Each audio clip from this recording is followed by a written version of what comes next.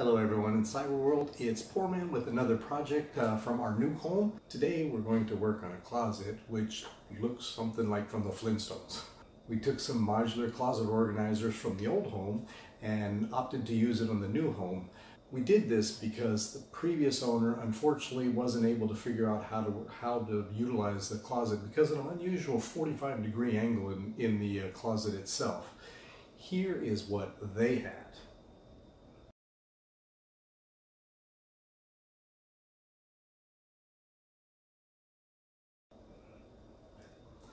So we're gonna mix things up to see what I was able to do to fix up this uh, Flintstones room and uh, let's take a look at what I was able to do.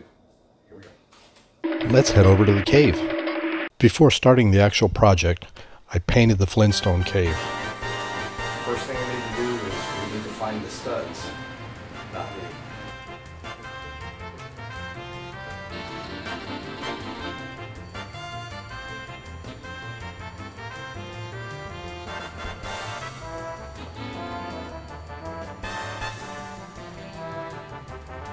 Should be between those two.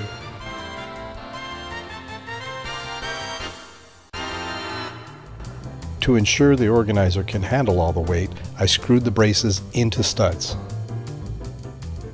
Then it was a matter of installing side panels, shelves, and hanging rods.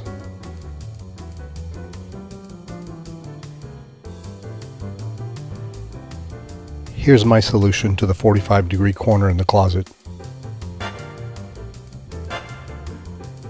And there you have it, cannibalized parts from three closets at the old home, cleaned up and reutilized the poor man's way. In the end, I stuffed the closet full with everything we have, just until I can renovate the other room closets.